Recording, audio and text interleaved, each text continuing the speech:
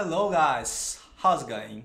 E agora a gente vai aprender uma coisinha bem legal em inglês que são os relative pronouns. O que são os relative pronouns? Nada mais é do que o nosso que, né? O que em português, que a gente utiliza muito o que em português. Em geral, os alunos ficam com dúvida de quando usar, como usar o que em inglês. Então nessa aula você vai aprender como usar, na verdade é uma primeira aula, porque a gente vai ter mais aulas falando sobre o que, os relative pronouns, porque são, a aplicação, o uso é um pouquinho diferente do inglês, do português, né? Então essa é uma aula de introdução, na verdade, nas próximas aulas a gente vai mais a fundo entender as particularidades dele, tá?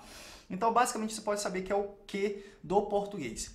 Ah, importante, lembrando que essa aula tem PDF, MP3 para você baixar e mais importante ainda, você já se inscreveu no canal? Que, que tu tá esperando? Vai lá, corre lá, se inscreve, ativa o sininho e assim você vai deixar eu super mega power feliz, ok? Conto com você. Bora começar nossa aula então? Vamos lá.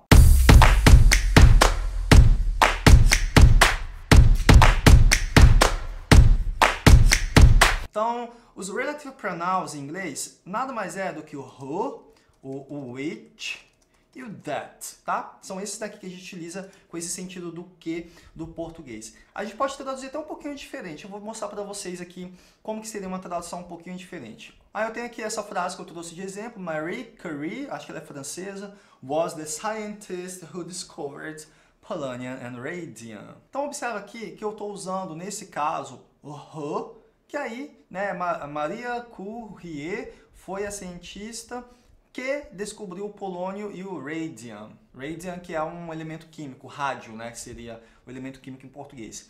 Então, beleza, observa o seguinte, que aqui como eu estou falando ela, uma pessoa, eu estou usando o her. Então, bora ver aqui, entender como que funciona a utilização dos três, porque a gente pode usar, utilizar os três.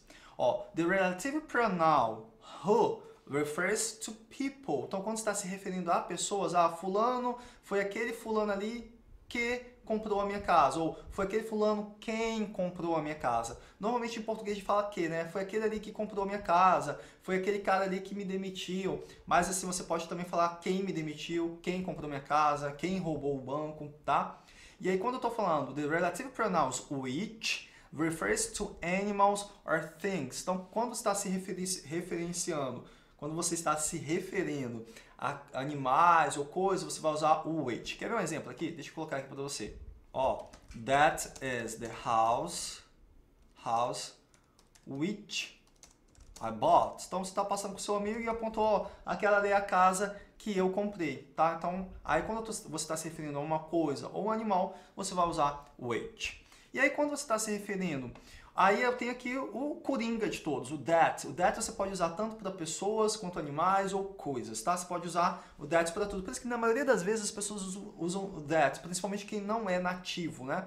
É, é mais comum ele usar o that. O who e o which mostra que você tem mais domínio da língua, né? Que você tem um background bem maior da língua. Então fica mais bonitinho você usar who e which para quando é coisas, é, coisas e animais, which e who para se referenciar a pessoas. Alright?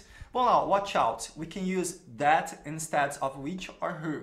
Emma is the new student who started last week. Emma é a nova estudante que começou semana passada. Aí depois a mesma frase, só que trocando her por that. Mudou nada. Em português é a mesma coisa. Que Emma é a nova estudante que começou semana passada. Alright, guys. Então bora praticar um pouquinho aqui. Vamos lá, eu trouxe esses exercícios para te ajudar. Lembrando que a gente pode usar um ou outro, mas sempre coloque os dois que são possíveis, porque aqui vai caber that para todo mundo. Eu não quero que você só fique no that, eu quero que você fixe o conteúdo e realmente saiba que who é para pessoa e o which é para é, coisas e animais. Beleza? Existe também uma outra possibilidade que é para lugar, que é o where, mas eu não vou explicar nessa aula não, deixa numa próxima aula eu explico, tá? Vamos lá. Então agora você vai dar pausa, vai buscar fazer aí por sua conta e aí depois você volta a dar play para você poder conferir a correção. Então vamos lá fazer a correção. Ó, number one, Amundsen was one of the first explorers, tanana, reached the North Pole. Então eu estou falando sobre uma pessoa. Então se é uma pessoa, eu vou usar quem? Who.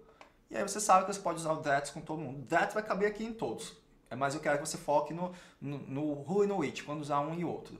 An iPad is an electronic device, tanana, is very popular. Eu estou falando sobre um, um, dispositivo, uma coisa. Então, eu vou usar o which. Então, o iPad é um, um dispositivo eletrônico que é muito, muito famoso.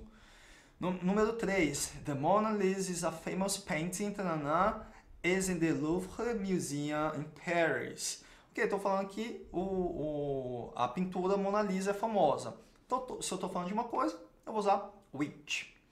Número 4. Cricket is a sport. Tanana, comes from the, the UK. Então, eu estou falando de um esporte. Um esporte é uma coisa. Which. Number 5. Anthony Gaudí was the Spanish architect.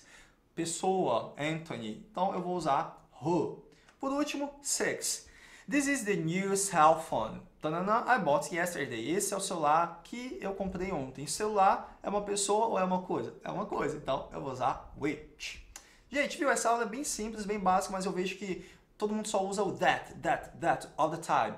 Então, assim, é bom você saber quando você usar um, quando você usar o outro, para poder... É, sua, sua linguagem ficar mais bonita, você soar mais como um, um native speaker, um nativo, né? Beleza? Então, baixa o PDF, baixa o MP3, pratica, treine isso daí para poder fixar melhor, assiste a aula de novo e, claro, lembre-se de não se esquecer de se lembrar de se inscrever no meu canal. Alright? So, that's it. See you.